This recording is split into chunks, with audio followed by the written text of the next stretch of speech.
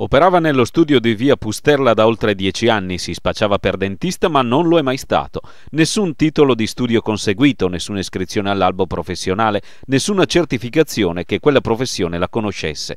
Eppure i carabinieri del nucleo antisofisticazione e salute di Brescia, che lo hanno sorpreso in flagranza di reato con una paziente sulla poltrona operatoria, ha risposto di essere una persona competente e molto brava nel suo lavoro.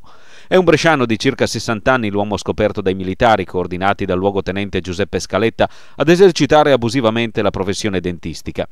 In via Pusterla aveva attrezzato uno studio con tutti gli strumenti della professione e senza averne titoli visitava, operava, distribuiva farmaci ed eseguiva test radiografici. Ora l'appartamento è sotto sequestro.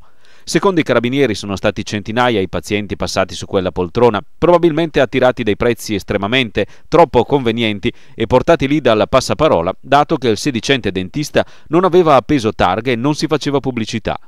In queste ore, nell'ambito di una vasta operazione di controllo degli studi dentistici della provincia, i NAS hanno posto sotto sequestro uno studio a Gotolengo ed uno apparatico dove operavano degli abusivi. Si tratta di strutture autorizzate ma intestate a medici poi denunciati che fungevano da prestanome. Dall'inizio dell'anno sono state centinaia le ispezioni dei NAS. Gli ambulatori abusivi sono fuori controllo e non offrono garanzie e dunque sono pericolosi per la salute.